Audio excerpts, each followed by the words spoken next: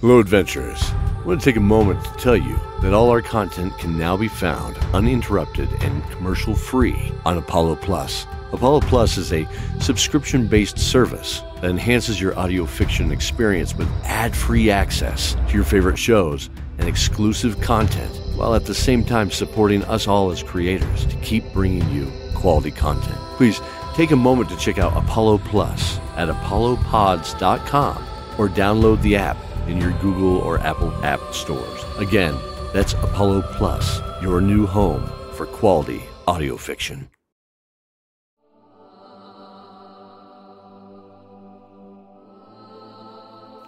Listener's warning. This episode of Dawn of Dragons deals with darker story elements that may be comfortable for some listeners. Listener discretion is advised.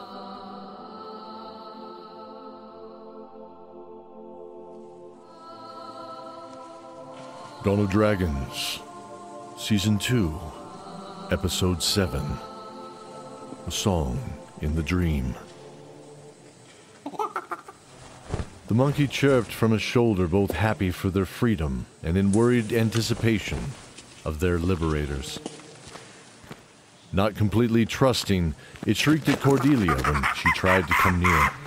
Abu does not like you. I'm sorry. The cold voice of the tall elf was quiet and hushed. He looked like the rest of the Viridian elves, Vix noted. Although he was much taller, standing almost seven feet, and most elves residing at five. His white hair made him look closer to these deep elves, except for his plum colored eyes. You're taller than most, and your hair and eyes are not common to our people. Are you from this place? The elf known as Erlin turned to Vix and coolly regarded his question. No one is truly from here. I found that to be true in my time imprisoned, though many come to visit eventually. Thank you again. I have no idea how many years have passed that I've been trapped in that cage. Where are you from? Benedict asked. Erlin paused. I. I was a sailor. My ship was the Nautilus. Our beloved Captain Dorito fell to a band of pirates to which I myself was imprisoned. Tortured. He stayed there comfortable in silence, and then looking away to the distant hallways and darkness. Bound and ended up here. I know not much else. Nearby, Zorin opened the chest he had hid behind. He easily picked the ancient lock, and the large ornate brass clasp creaked from its post, freeing the lid. It was heavy and dense, but free of age and rot, despite the layer of dust. He peered inside. He saw an ornate rapier. Green and purple gems graced the sterling silver guard and scabbard glinting in the light. He smiled as he lifted it out of its resting place. That's a gorgeous weapon, Zorin. It sure is. Zorin stared at Benedict for a moment, wondering where the voice came from. I. Uh. Uh. Well, don't be stupid. Tell him thank you, silly. He looked down at the sword. The voice was coming from the sword. He quickly looked at Benedict. Yes, yes, yes, yes. It is. Isn't it? Yeah. Well, it suits you. See? We were meant to be together. Your friend even thinks so. Did you did you hear that? Hear what? Zorin raised an eyebrow, testing the waters of the conversation. A voice? Just us. He can't hear me, silly. You sure you are okay? Benedict approached his friend cautiously. Uh, maybe the air is getting to you. I, I could. uh, I'm fine. Benedict paused, his eyes raised in mock surprise at his friend's outburst. Oh boy. Zane smiled, finding humor in the situation. Thank you, thank you. I'm I'm fine. Just just a bit weary. That thanks. He stumbled off to sit on the steps with his new blade. Benedict shook his head with a chuckle. Okay, old friend. It's. it's okay. Skotmir sat at his bedside thinking, looking out the window at the large underground city. The flames rumbled periodically from towering furnaces, sending plumes of fire and smoke rolling into the air. He thought of the marshal's face when they told her they had completed the journey and what they had found. She looked very disturbed by the news, though her voice carried the same stone born strength he had come to expect from her. All of you get some rest. We'll meet here in the morning to discuss our king. She turned away from them, he noted. It seemed she had brushed a cheek. I fear this has had no effect on his condition. He yawned, noticing the rest of his friends were asleep, and flopping back onto the bed, he closed his eyes. Skotmir saw his father in front of the great forge hammer of their people. To his right was Thoughtmere, his brother. They were identical save for Thoughtmere's dark blue armor and dirty blonde beard he wore in a single, well kept braid. Skotmir never liked the feel of their traditional armor, too restrictive. He was known as a boar's head fighter, a berserker who did better without being trapped in armor and was known for their ferocity, the ferocity of the wild boar in battle. They were also outcasts in polite dwarven society.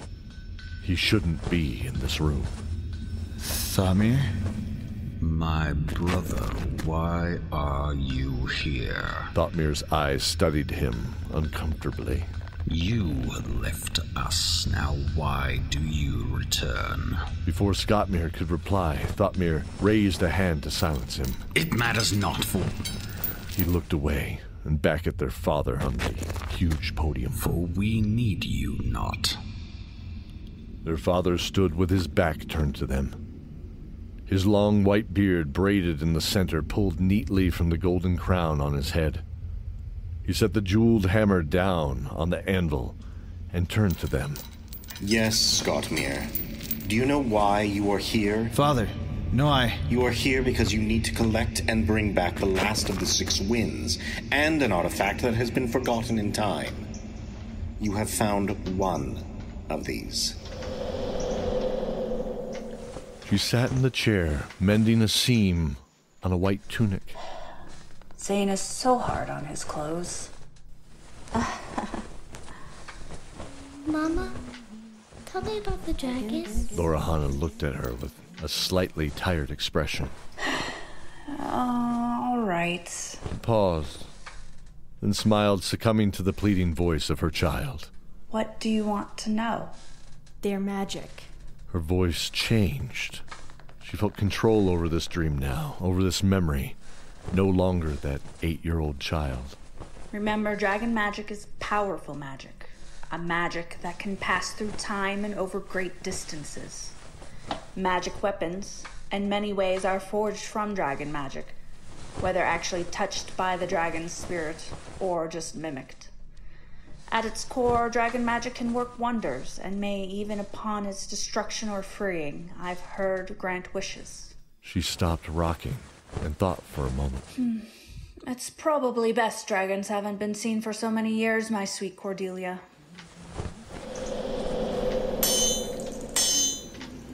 He could smell the hot coals before he felt its warm, familiar heat. His hand was resting on a rough oak table where a four inch red eyed dragon turtle carved of pure mithril silver sat.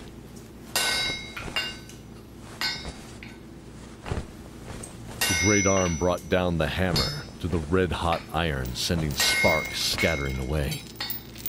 The deep voice resonated. What are you looking for, Benedict? An artifact of power. But that's all we know. Erebus laughed as he thrusted the iron back into the fire. I suppose the real question is what do you really need? Benedict thought for a moment. Erebus taught him a solution wouldn't be found looking directly for it. Instead, he was to find a path or a tool and work towards it. A light. A light for this terrible darkness. Erebus nodded as he pulled out a raw, jagged iron rod from the table. You've always gone through life yearning for something bigger, but you've never found what you had within first, and then find what you are without. You walk towards the workbench. Take this iron. By itself, it seems strong. And it can do the job in most cases, I suppose.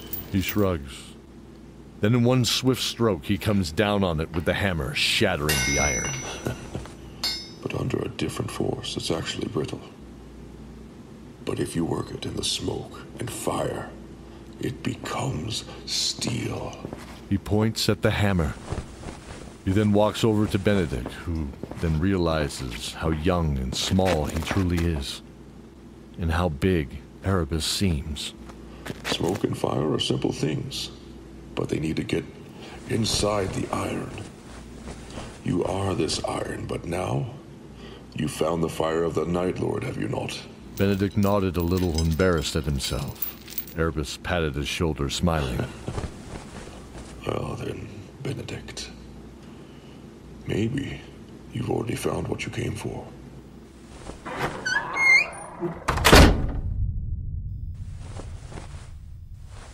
In the morning, the group all had been sharing the majority of these stories with each other. Each of them, in turn, were entertained, if nothing more, by each other's company again. All save for Vix. You all never cease to amaze me with your silly stories. He stated plainly, picking up a towel, leaving for the bathhouse. I'll return shortly. Then, we best get moving to Marshal Ironstone. She doesn't seem to be one who likes to wait. The group sat there in silence for a moment, thinking of his parting words. I dreamt of my family too. Though, not as pleasant. Zorin sighed, knowing he couldn't keep it from them any longer. I saw a boy about 10 years old sneaking in a room he should not be in. It was a room of oddities surrounding a desk brains in jars, small, hideous creatures in jars with labels and unpronounceable names. It was me, but as if I was out of my body. On the central oak table, there's a basketball shaped object covered with an embroidered cloth. The object seemed to slightly pulse in size as I approached it.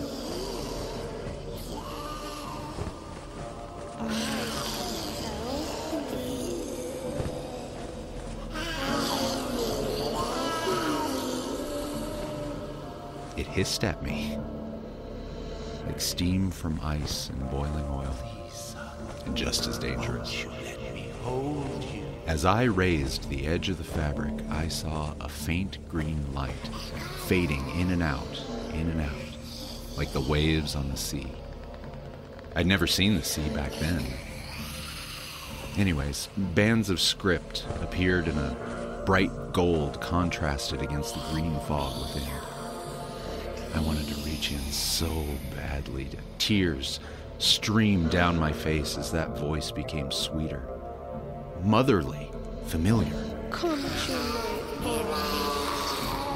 Let me whisper sweetness in your ears and cover you kisses never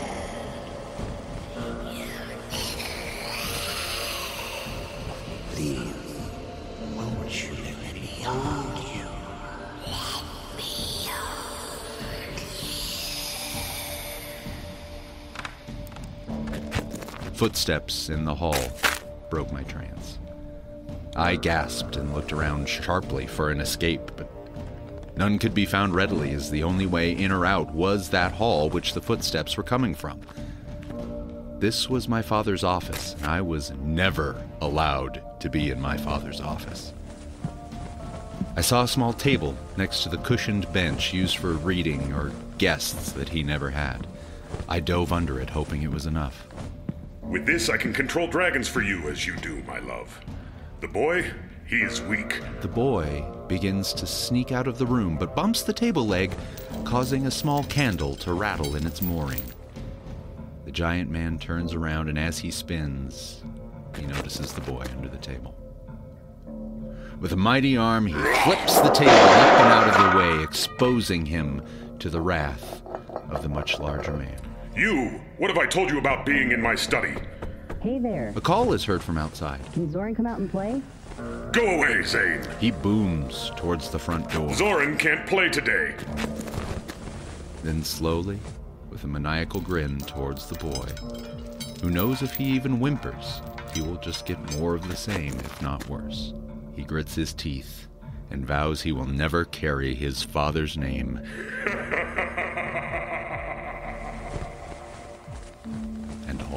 fades to black.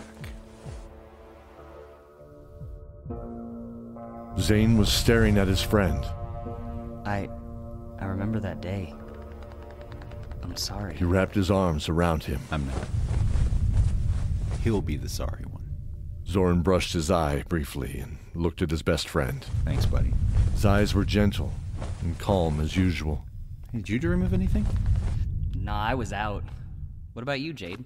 Jade thought for a moment while restringing her bow by the window.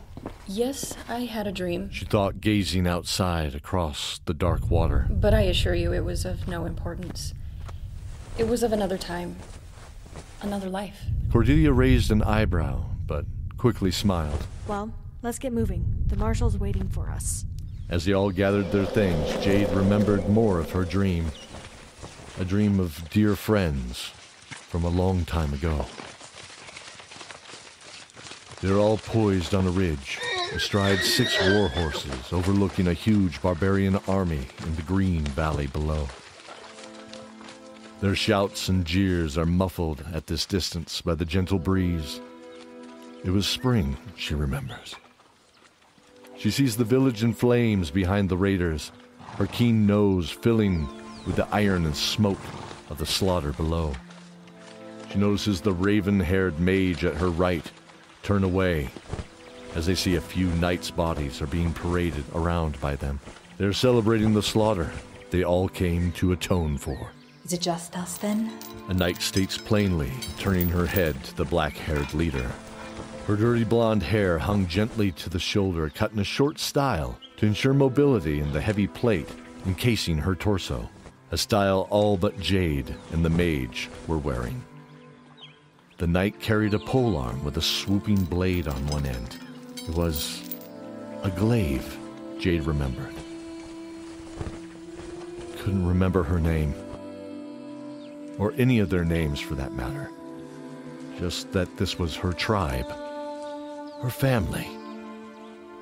Next to the mage, a tall, honey haired man drew his long sword. Sword that looked like the emblem of the crown and sword they were all wearing on their tunics. On her left, the short hickory colored hair of another man blew gently as he prayed. Her heart leapt slightly when his blue eyes fell on her and smiled.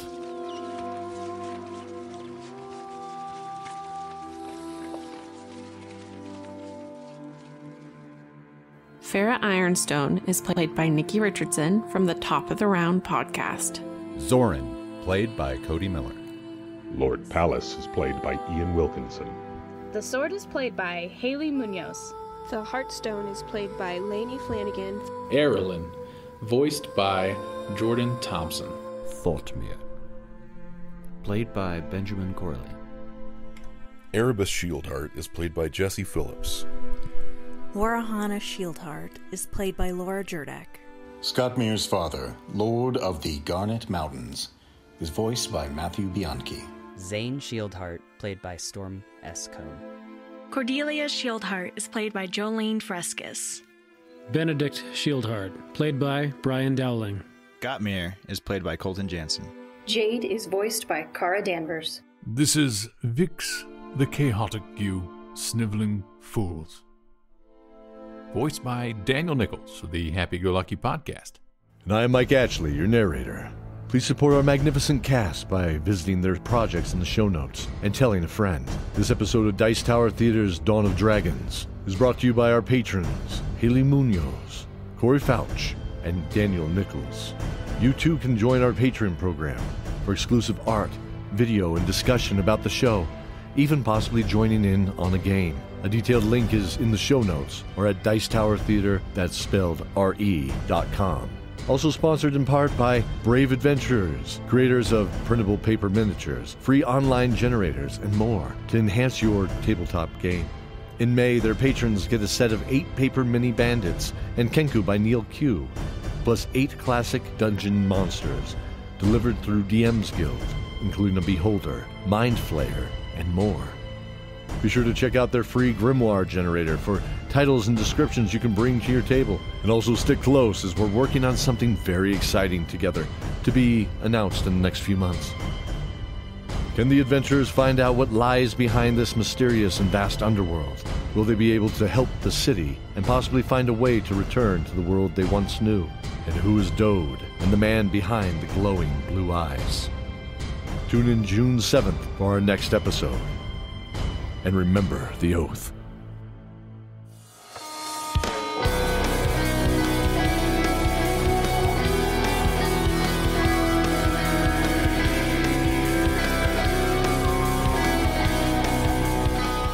Hey there, I'm Tara. And I'm Jessica, and together we co host the podcast Three Spooked Girls. If you love the paranormal or murder, join us on Mondays for full length episodes where we discuss our favorite paranormal stories and true crime cases. And join us again on Thursdays for our mini-sodes called Stabby Snippets, where we tell you all about true crimes happening in the news. You can find us on Apple Podcasts, Podbean, Spotify, or wherever the hell else you listen to your pods at.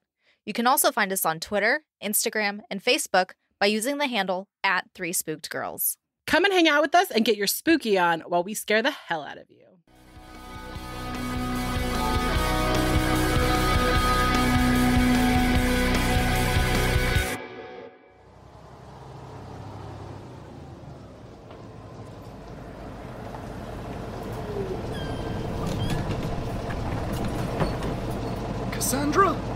Cassandra Cole? Welcome, both of you. You are the final two to arrive. I won't be gone long, and Aunt Nani needs your help. Promise me you'll be helpful. Hello? Is anyone there? Screechers? The family reputation is at stake, son. The visual arts may lack relevance. Wait, what is that? Governor's School for the Arts at Walnut Grove. The Happy Go Lukky Podcast, producers of Charlie Saves Christmas, bring you our next heartwarming adventure Cassie and the Spectral Shade. Don't you remember what it was like to be 17? It turns out you're quite pretty, and it wouldn't hurt for people to see me walking in with you. Good for you, Judy. Cut, cut. That was ghastly. Dreadful. I want you to go through it again. This time make me feel something. You'd think that if I could dream the same thing over and over, that eventually I'd figure out how to control it better than this. Saving every moment, keeping them like diamonds locked away within. Sorry about that, but you'll find that Walgrove has a thing for dreadful terms. Fair and warm, lone traveler. Come, rest that I your wounds may bind. If my reputation is based on the company I keep, I suppose I'm better off heading in on my own. Please join your fellow first years in the Great Hall, where the staff and faculty have prepared a lovely reception for you. You